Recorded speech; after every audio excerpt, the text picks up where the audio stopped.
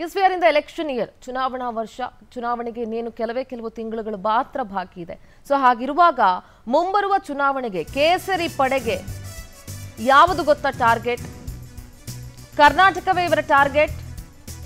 ದೆಹಲಿ ದೊರೆಗಳಿಗೆ ಕರ್ನಾಟಕ ಸದ್ಯದ ಟಾರ್ಗೆಟ್? ಭರ್ಜರಿ ತಯಾರಿಯನ್ನ ಕೇಸರಿ ಪಡೆ ನಡೆಸ್ಕೊಳ್ತಾ ಇದೆ ಮುಂಬರುವಂತಹ ಚುನಾವಣೆಗೆ.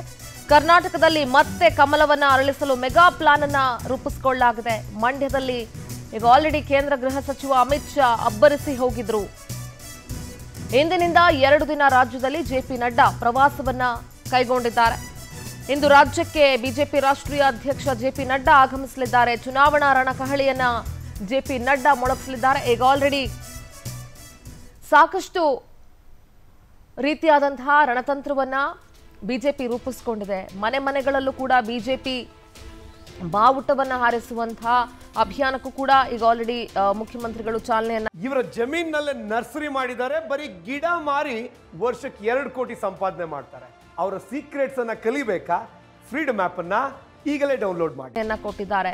ಸೊ ಹೀಗೆ ನಾನಾ ರೀತಿಯಾದಂತಹ ಚುನಾವಣಾ ರಣತಂತ್ರವನ್ನ ಬಿಜೆಪಿ ಮಾಡ್ಕೊಳ್ತಾ ಇದೆ. ಈಗ ದೆಹಲಿಯ ಬಿಜೆಪಿ ನಾಯಕರಿಗೆ ಕರ್ನಾಟಕವೇ ಸದ್ಯದ ಟಾರ್ಗೆಟ್ ಹುಕ್ ಆರ್ ಕುಕ್ ಹೇಗಾದ್ರೂ ಮಾಡಿ ಕರ್ನಾಟಕದಲ್ಲಿ ಮತ್ತೆ ಅಧಿಕಾರದ ಚುಕ್ಕಾಣಿ ಹಿಡಿಬೇಕು ಅನ್ನುವಂತಹ ನಿಟ್ಟಿನಲ್ಲಿ ಈಗ ಆಲ್ರೆಡಿ ಕೇಂದ್ರ ಬಿಜೆಪಿ ನಾಯಕರು ರಾಜ್ಯಕ್ಕೆ ಭೇಟಿ ಕೊಡ್ತಾನೆ ಇದ್ದಾರೆ. ಒಬ್ಬರಾದ ಮೇಲೆ ಒಬ್ರು, ಒಬ್ಬರಾದ ಮೇಲೆ ಒಬ್ರು ರೌಂಡ್ಸ್ ಅನ್ನ ಹಾಕ್ತಾನೆ ಇದ್ದಾರೆ. ಜೆ ಪಿ ನಡ್ಡಾ ಅವರ ಪ್ರೋಗ್ರಾಮ್ಸ್ ಏನೇನು ರಾಜ್ಯದಲ್ಲಿ ಅಂತ ನೋಡ್ತಾ ಹೋಗೋದಾದ್ರೆ ತುಮಕೂರು, ಮಧುಗಿರಿ, ಚಿತ್ರದುರ್ಗಕ್ಕೆ ಜೆ ಪಿ ನಡ್ಡಾ ಭೇಟಿ ನೀಡಲಿದ್ದಾರೆ.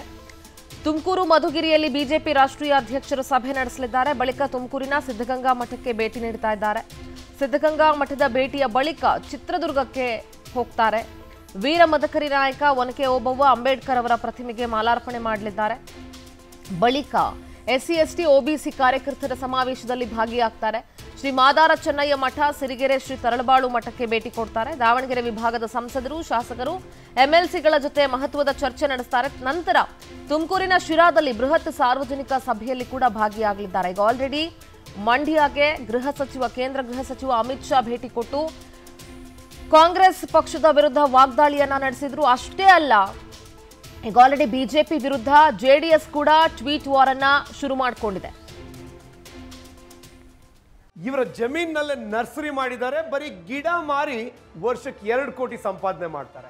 ಅವರ ಸೀಕ್ರೆಟ್ಸನ್ನು ಕಲಿಬೇಕಾ? ಫ್ರೀಡಮ್ ಆ್ಯಪನ್ನು ಈಗಲೇ ಡೌನ್ಲೋಡ್ ಮಾಡಿ.